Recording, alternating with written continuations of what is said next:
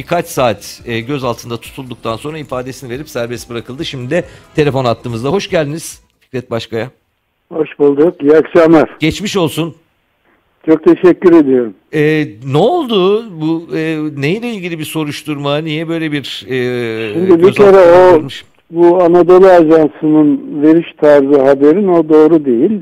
İşte şu kadarla filan ilgisi yok. Benim durumum tamamen farklı. Şöyle, Evet. Bir yıl kadar önce yazdığım asıl terör devlet terörüdür başlıklı bir yazıyla ilgili olarak bu yılın Şubat ayında Bursa'da bir ihbarda bulunulmuş. Evet. Uzun süre üzerinde durulmamış. Daha sonra oradan Ankara'ya dosya intikal ettirilmiş. Orada da buradaki savcı da bir de işte terör örgütü üyeliği de ekleyerek halbuki yani tamamen yazı orada bir yazıyla ilgili Hı hı. öyle bir soruşturma başlatmıştı. Yani o haberin veriliş tarzı öyle değil. Şu kadar kişiyle falan öyle bir Evet bir ilgisi yok. 20 kişiyle birlikte gözaltına Yok, alındı diye şey haberler yok. verildi. Kül, külliyen yalan. bir şey. yalan. Benim durumum ayrı. Peki e, Fakat niye, onu manipüle etmek için yani kasıtlı bir haber e, üretmişler. Tabii bu yaptıkları peki ne niye gazeteciliğe niye- ne hiç yani niye gözaltı Fikret Bey? Niye gözaltı? Yani siz davet ettiler de gitmediniz mi? Öyle bir şey oldu mu? Yok yok davet falan yok yani davet etse biz e, yıllardır yargılandık o mahkemelerde. Ben Evet. benim hakkında açılan davaların sayısını bilemem yani. Normalde bize bir şey gelse gideriz. Fakat yani böyle bir yani sanki farklı bir durum varmış havası vermek için bi- bilmiyorum. Sabah saat 6 civarında 4 polis eve geldiler. Hı hı. Arama yaptılar. Bilgisayar işte ondan sonra şey- Kitabı aldılar mı kitabı Fikret Başkan? Kitabı. Fakat enteresan ama şimdi burada çok ilginç bir nokta var. Evet. Bu üç kitap aldılar. Biri paradigmanın iflası fakat onu alan polisin yani böyle bir paradigmadan filan haberi olan biri değil. Yani onu sanıyorum tesadüfen aldı. Fakat çok ilginç bir tesadüf. Hani paradigmayı alması da çok Evet. tuhaf bir şey yani.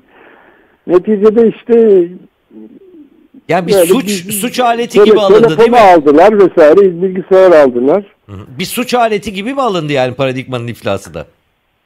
Artık bilmiyorum yani üç kitaptan biriydi aldıkları. Evet. Son, Ondan sonra oraya gittik. Orada bir polis sorgusundan sonra evet. hadi güle güle dediler. Yani bu biraz sanıyorum bu durum biraz istisna çünkü böyle alınıp da bu tip gerekçe alınıp da bu kadar sürede bırakılan pek yakın zamanda siz de takdir Evet. edersiniz. Sizden Yok. başka bir örnek yok herhalde. Öyle görünüyor. Neyse çok ki. büyük bir tepki oluşmuş galiba Türkiye Evet, çapında. evet, evet, evet, evet. Ee, biz de Bir de takip ettik. sanıyorum bu CHP'li milletvekillerinin de bir baskısı olmuş hükümet üzerinde. Evet. En azından e, öyle şey söyleyebiliriz. Yani o zaman sanıyorum yani geri salmak zorunda kaldılar gibi bir şey. Ne sordular size? Önce bir geç, özgeçmişi filan sordular. Kimsin, nesin filan. Sonra da işte terör örgütleriyle ilgin var mı filan gibi sorular. Ben o tip soruları cevaplamak istemedim. Dedim ki bu dedim bir düşünce özgürlüğü sorunudur. Düşünce özgürlüğü alanını eder. Politik otoriteye yöneltilir eleştiriler. Yoksa mahalle bakkalına yöneltilmez. Yani eğer buna mani olursan o zaman sen düşünce özgürlüğü diye bir şey yoktu. Bu mealde bir kısa bir savunma yaptım.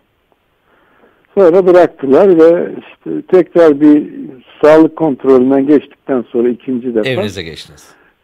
ki eve intikal ettik yani. Hadise bundan ibaret. Peki bir polis memuru... Fakat bu şunu gösteriyor yani şimdi bakın burada yani bütün aşamalarda hukuk hukuk yok bu işte.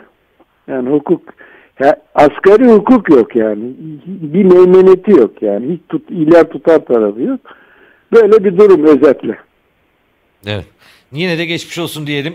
Ee, Çok Fikret teşekkürler. Başkaya, çok sağ olun. Sesinizi böyle duyduğumuz için, biz de kabul ettiğiniz için sağ olun eksik olmayın. Akademisyen yazar Fikret Baş